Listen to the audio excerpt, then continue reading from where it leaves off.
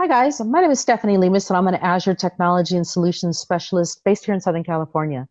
I'm part of the Global Black Belt team covering the Americas, and I specialize in cloud native architectures and open source databases. I'd like to thank you for joining me for this session on using MongoDB Atlas on Azure to do more with less. Now, a lot of you, I know AWS had the jump start. They got to cloud first, they have a lot of mind share. Some of you don't know that Azure looks a lot like AWS. Um, again, CIOs like it, they love it you know, for those of you who don't know anything about Azure or maybe haven't seen Azure in a while, let me reintroduce you. When I started with the platform, we had six things. So we were talking to customers about enterprise class, infinitely scalable architectures and applications. But you know what? Back then, we had six primitives that we had to build that with. We had cloud services, we had um, SQL Azure, networking, storage, CDN, and caching. So we had to build these infinitely scalable applications using six things. Today, we have not only what you see on the screen here, we actually have, you know, a thousand plus different things that you could use to build a modern application on the Azure platform. This is why, you know, our cloud share keeps growing. You know, we're growing faster, almost double the rate of AWS, and certainly almost four times as fast as Google in this space. Um, we are sort of, a, according to Goldman Sachs, we are that old saying that, you know, one of my customers said to me when I first joined Microsoft of, when I was, you know, doing IT, my boss always said, you'll never get fired for picking IBM. I'm like, what does that mean? And I'm like, oh, now today I get it. If you are a developer and you're looking for a cloud hosting platform and you pick Azure, there's a pretty high chance, at least according to Goldman Sachs, that you're picking something that your CIO would approve of. We host obviously all of the large sort of Fortune 500, 150 customers in the world. Now, back then, when we first started with Azure, it was all Windows and SQL based. So you know, we used to talk to customers about, look, there's nobody on the planet who can run a Windows server better than Microsoft. Same for SQL. We wrote the code. We have all the support tickets. We understand what breaks it. We understand how to fix it. We know what solutions work on it. We know what solutions don't work on it. You might be good at Windows. You're never going to be as good as we are. Why wouldn't you give us your application? Let us take care of Windows. You take care of your app. We do what we do best. You do what you do best. Everybody wins. And that's exactly the approach that we've taken even to this day. You know, it's why we have these partnerships with SAP and Oracle and NetApp and Cray.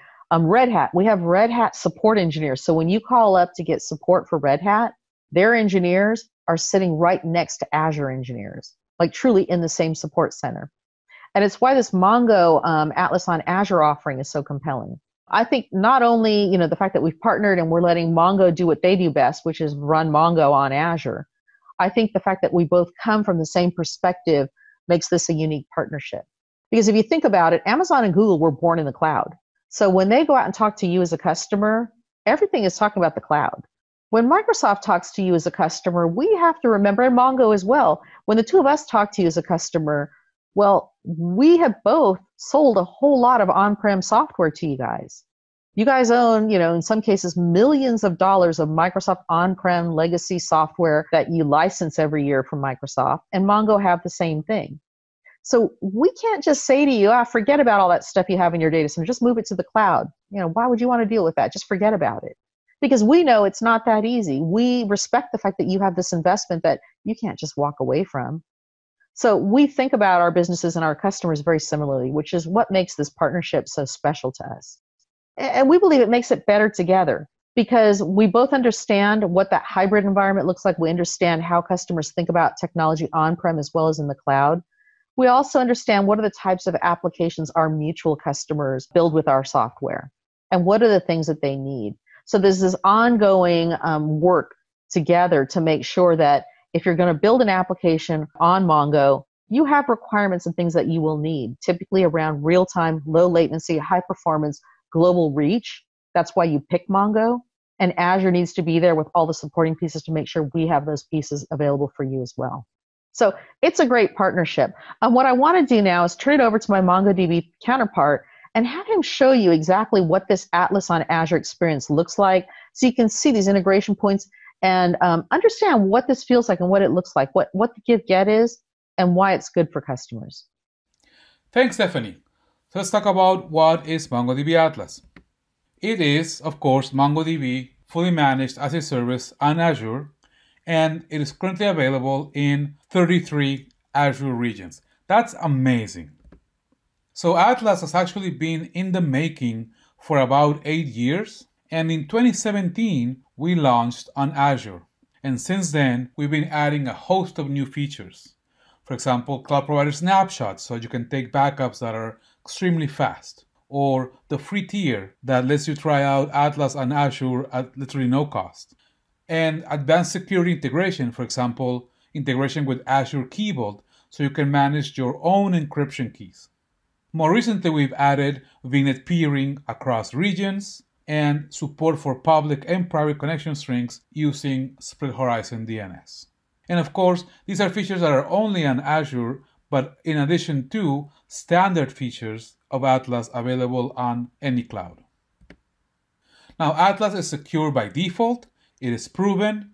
We have earned these certifications, which quite honestly has taken an extreme amount of effort and investment and time as well. But today, banks and healthcare providers and other you know, industries that are highly regulated are using Atlas for mission critical production applications. We meet their security standards.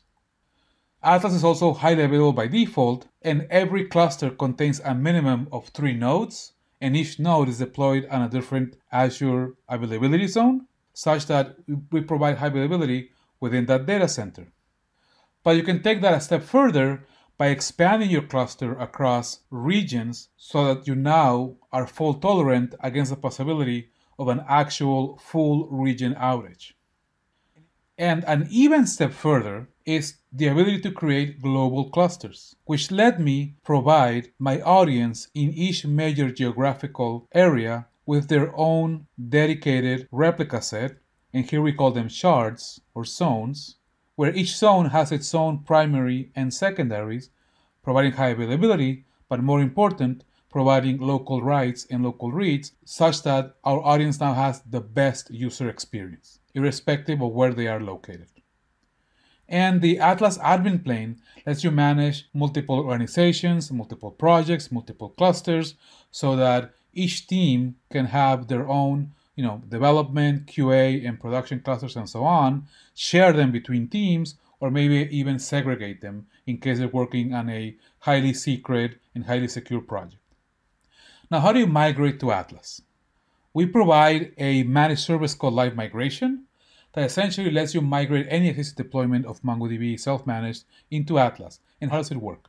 Well, it works by performing first an initial sync, which is taking a copy of the data 100% from the source cluster into the target Atlas cluster, and then listening for changes, and we call that the ongoing sync, so that you don't have to shut down your applications for a large amount of time. You know, they're still functioning and they're still writing to the database, and we are listening for those changes and replicating them in real time. And when you're ready to make the cutover, you can then simply shut down your applications, let any last minute changes trickle over, change your connection string, restart your applications, and voila, you're done. And your end customers experience near zero downtime. How awesome is that? This is what the Atlas admin plane looks like. I have already created a cluster up front called production. It is running MongoDB's latest version 4.2.6. It is deployed on the Azure California West US region. It is of size M10 it is also a replica set covering four nodes because we've added an extra node for in-place analytics and we have enabled our BI connector, which lets you speak SQL against MongoDB for analytics and reporting purposes. Now let me walk you through how MongoDB Atlas can provide an elastic database service that can even span across regions and upscale up and down automatically. So let's go into the configuration of this cluster. And as we saw before, this is already deployed in Azure in California West US, but I can expand this cluster to cover multiple regions to protect myself against a full region outage. A best practice is to deploy uh, five nodes across three regions. Therefore, on any region outage, I will always have the majority of the nodes alive and my cluster will be able to elect a new primary when it performs an election. Now, I've already added before a analytical node. So now I can direct all my queries for BI and reporting and not disturb or affect the uh, operation capability of my electable nodes. I can even change the tier of this cluster at any point in time. This is currently an M10, which is the smallest tier that has all the, the, the full functionality. Let's say that I were to change this cluster to an M30. So now that changes to 8 gigs of RAM, 3 gigs of storage at minimum, and so on. And I can even configure this cluster to auto scale depending on certain thresholds. For example, I can say scale this cluster as maximum as an M50, which provides you 32 gigs of RAM, etc or scale it down to as low as an M10, which we saw before provides about 2 gigs of RAM. And Atlas will automatically replace the nodes one by one without affecting your cluster. And because you will be using our latest drivers from your application code, our latest drivers include automatic retries for both reads and for writes. Therefore, there will be no interruption in terms of the, your database service when using our latest drivers and Atlas auto scale features. The final walkthrough here is the additional settings. In here, you can control the version of your cluster. Now, this cluster is already using the latest, which is 4.2, therefore I cannot change this. But if I was using 4.0, obviously the, the option to upgrade would be available. Now, you control the major version. You control when that is upgraded. Atlas takes care of the minor version. So basically the patches, right, for, for every minor release okay? And that is done automatically for you. You don't have to worry about that. Second is backup. This is already enabled. This cluster is using cloud provider snapshots. The snapshots are stored uh, in Azure Storage. You control the retention policy, which essentially is how often are snapshots taken and for how long do you keep them. And as well, another feature here is the uh, point in time restore, which lets you restore your cluster up to a certain point in time, up to a certain minute. That's the, the, the lowest resolution. This cluster also has the BI connector enabled and so reconfigured to hit, uh, the, the, queries are going to hit the analytical node so that it does not impact the operational nodes, which are serving, you know, your web applications, mobile applications, JSON APIs or RESTful APIs, and so on. And finally, this cluster is also configured to use Azure Key Vault for encryption at rest. What this means is that you can provide your own encryption key, which can be extracted from Azure Key Vault, and then use uh, that in the cluster to encrypt the data completely at rest. Now, I am going to go and deploy the changes to this cluster. Currently, it is a replica set M10 that is uh, running against a single region, which is California West US. And Atlas is going to now span this cluster across three regions with five nodes. Okay and uh, and all the changes that I've made in here, including the auto scale. So I'm going to let this cluster auto scale from an M as low as an M10, which is the current size, and let's just say that it's only going to go as high as an M30. Okay, and now I, all, literally all I need to do is say review changes. The Atlas UI tells me these are the changes that you are going to do. Please please confirm right? We see, we see there the cluster tier change, the node configuration, the number of nodes, the number of regions, their BI connector, etc. And also tells me the, the price impact, right? Perfect. So let's go ahead and deploy that and simply click apply changes. And immediately Atlas is building a plan to go and provision the nodes and all the resources in Azure, including that you see provisioning private network. So you know, essentially we're going to come back in 10, 15 minutes or so, and we should see this cluster fully span across uh, multiple regions and all the changes that I made as well. So let me walk you through how Azure Key Vault was configured. I'm going to go into the Advanced uh, tab under the Security section, scroll down to the Encryption at Rest using Key Management, expand that, and we see that Azure Key Vault is already being configured right? It is configured currently on one cluster, my production cluster. These are my Azure account credentials. And here, eh, here are the, the credentials for the key vault. And my key vault is called SN MongoDB Vault West US, also under this resource group.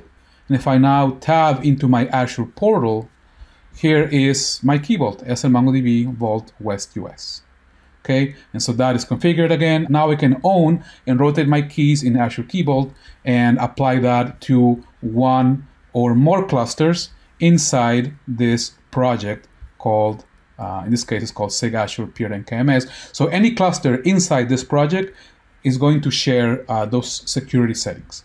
For example, if you're having a microservice architecture where each microservice uh, uses their own cluster, all of them could be sharing the same key, for example, right? The next integration point between Azure and Atlas that I want to show you is VNet peering. So let's go into the Network Access tab of Security, go into the Peering tab, and there you see the VNet that is peered with my Atlas cluster or my Atlas project actually. So my VNet is called SN MongoDB uh, VN West US uh, against this particular subscription uh, for the US West, right? And that's the CIDR block that Atlas is, is using. And if I tab into my Azure portal, here is my VNet, SN MongoDB VN West US, just like we mentioned there, right? And if you go into the peering section, there is the actual peer. So that is the VNet from Atlas. So again, all Atlas clusters are stored in their own VNet. They are private and only available, you know, to your project in Atlas. And so now you can peer your VNets where your applications are running, whether they are traditional applications or including Azure Container Services, right? They are living inside that VNet, and anything inside that VNet can now talk to the cluster via peering. Simple. Now the change to my cluster configuration is done. And if I drill down into the cluster, we can see that indeed it is spread out across three different uh, Azure regions California West US, Iowa Central US, Virginia East US. I have my operational nodes across all three, and I have one extra analytical node in West US.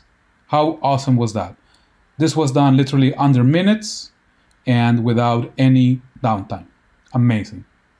Atlas and Azure create a better together story by integrating key services that allow your applications and your developers to become more productive and to offer amazing applications using all of Azure services together with the power of MongoDB and Atlas. Azure VNet allows us to connect any application logic or microservice running on Azure Kubernetes Service, Azure App Service, virtual machines, etc., to the Atlas cluster via VNet peering. Azure Key Vault allows you to provide your own encryption keys, or rather own your encryption keys, and have Atlas encrypt your data at rest. Azure Active Directory also lets you manage your users and your permissions so that they can authenticate uh, and you can control what your users can do and cannot do and what they have access to in the Atlas clusters, meaning the actual data. You can visualize your data using Azure's Power BI against data from your MongoDB Atlas cluster using the MongoDB BI connector, which is a fully managed service available with your Atlas clusters. You can also run advanced machine learning and data science jobs, right, using Azure Databricks and connect your MongoDB cluster using our Apache Spark connector. So thanks, Sig. Um, as you guys can see, hopefully you can see now, um, there's a lot of goodness with MongoDB Atlas on Azure in conjunction with Azure. As I mentioned before, we've really given a lot of thought to what do our enterprise customers, our mutual enterprise customers, what do they want to build and how are they going to use the platform? So, you know, we talked a little bit about, you know, why you would want to think about doing this strategy. I think honestly, if you think about it, it's kind of a no brainer. It's time to go back and revisit and figure out where the places that we can optimize and clean up a little bit. Um, we've talked about, you know, where do you get started? What kind of applications should you target for your first wave? The old thing one, thing two, thing three. To revisit that, you know, thing one and thing two are pretty much ready. You know, they are either containerized, they're sitting on an Apache server, they're already using Mongo. These are very low hanging fruit because all you have to do is set up the migration tool for Mongo, get your data up there, and then move your application either into Azure App Services or into a container for Azure Kubernetes service. Thing three doesn't mean you can't do it. I just recommend personally that it's not the best place to start because thing one and thing two can bring you immediate return for the effort there. And the resources that you free up by migrating your thing one and thing twos often are then able to pivot and work on your harder thing three things. By all means, you can start with thing three. You can find your biggest application on your network. You know, I think we all agree that Mongo CE or Enterprise Advanced can handle any size workload that you want to throw at it, as can Azure.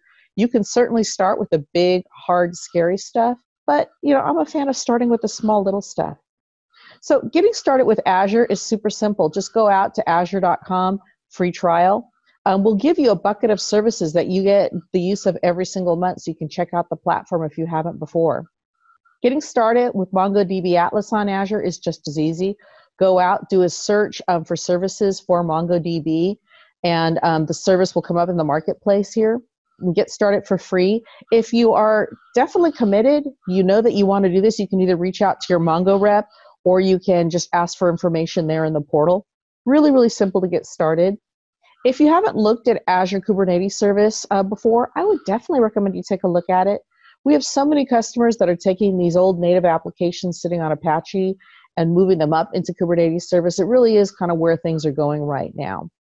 We suggest, you know, if you're not quite sure even where these pockets of applications might be, these these stupid things, start looking around for Mongo Community Edition applications that you have running around.